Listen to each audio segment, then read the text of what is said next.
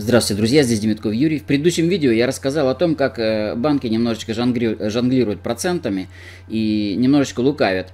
Э, и здесь тоже можно это использовать немножечко, ну, в повседневной жизни. Смотрите, когда мы э, берем комиссии, то есть есть варианты часто, которые просто банк платит нам, или не только банк. Производитель товаров часто платит нам э, деньги за то, что мы купим.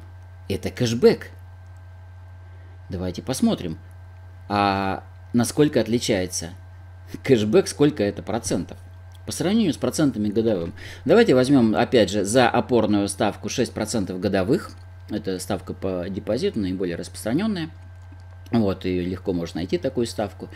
Так вот, э, когда нам банк обещает 1%, давайте, э, ну, опять же, на примере Тинькова. Э, у Тинькова, когда я покупаю что-то, то эта комиссия, значит, с каждой покупки начисляется, но я получаю ее не сразу. Я получаю ее по итогам месяца. То есть в течение месяца считаются все покупки. В конце месяца по итогам Тиньков считает, и мне на счет сбрасывается живыми деньгами кэшбэк. И у меня, например, э, в месяц получается от Тинькова 100 э, рублей. Это процент на остаток по счету. В среднем я трачу 40 тысяч в месяц. Э, и где-то 400 рублей кэшбэком. То есть кэшбэк в 4 раза больше. Почему? Опять по этой же причине. Смотрите, кэшбэк 1% с каждой покупки. Покупки суммируются в течение месяца. То есть все, что я купил за месяц, 1% мне возвращается. В году 12 месяцев. 1 умножаем на 12. Получается 12% годовых. А если считать, что, ну, как бы за месяц, то есть э, в начале месяца это я жду месяц кэшбэка, а в конце месяца покупки жду один день. Поэтому, значит, если в среднем считать, то 15 дней.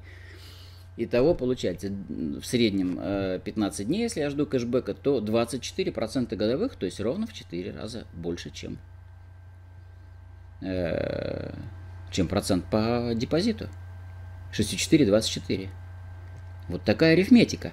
Поэтому выбирайте кэшбэк побольше, старайтесь его увеличить всегда, всеми способами.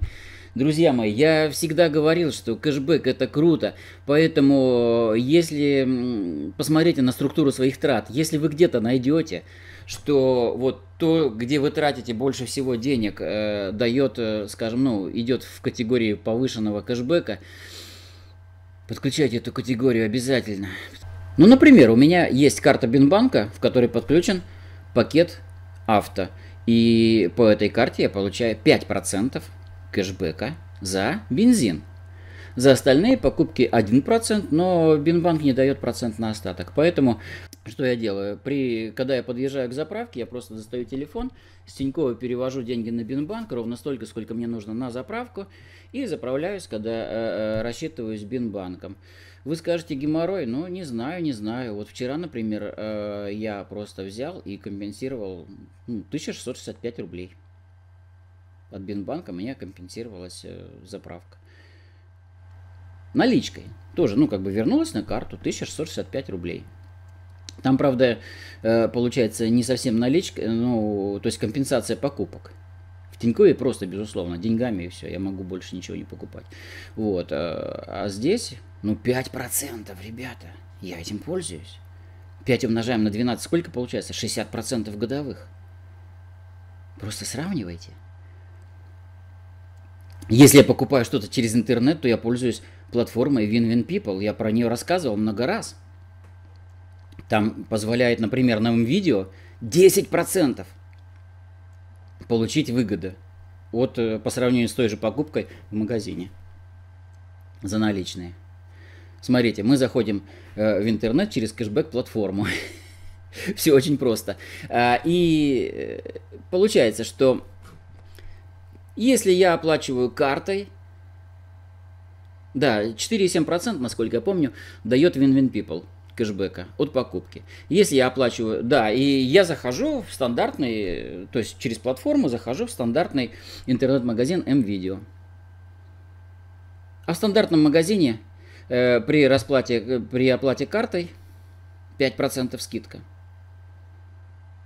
То есть я беру товар, например, за 1000 рублей, он мне достается не за 1000 рублей, а за 950 рублей. Из 950 рублей я еще получаю 4,7%, еще почти 50 рублей э, кэшбэка на WinWin People. Но WinWin People Capital, э, он дает кэшбэк не сразу, далеко не сразу, его надо накопить. И там его достаточно долго копить, то есть там практически вот эти 4,7 годовых, то практически получается 4,7 годовых. Ну и что? Все равно это здорово, это надо делать. Да, на бензине э, у меня, например, Газпром нефть дает э, бонусами 5%. Их можно потратить только на Газпром нефти, но если я там постоянно заправляюсь, то, в общем сказать, это мне серьезная экономия. Я точно так же по бонусной карте еще раз, там в два месяца точно заправляюсь бесплатно. То есть два, два раза за два месяца я заправляюсь бесплатно. Один раз за счет кэшбэка, второй раз за счет э, бонусной программы. Ну это большие деньги набегают. Я посчитал, там 40-60 тысяч в, год набегает. Они не лишние.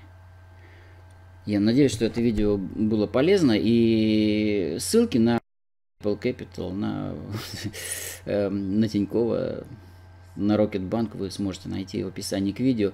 Подключайтесь, ребята, это очень-очень здорово на самом деле. Просто экономьте свои деньги, считайте свои деньги и ну, подумайте, деньги ваши, отбросьте эмоции, там сказать, многие говорят, что Тинькофф это дерьмо там всякое и так далее, реклама.